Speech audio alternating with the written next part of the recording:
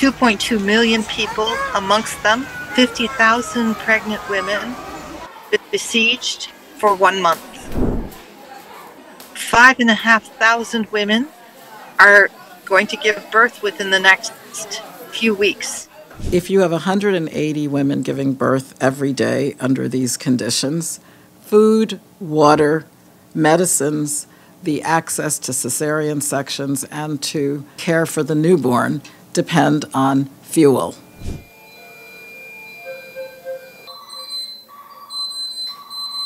We've had cesarean sections for emergency deliveries that have been done with little or no anesthesia, and on occasion only with the light from a mobile phone.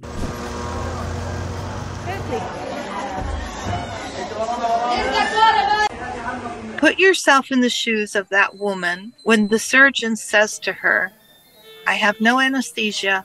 I don't even have water or soap to wash my hands, but I'm going to try and save your life. What kind of torturous pain goes through her mind on what might be the outcome for her and that baby? Even if she survives, there will be no one to help her.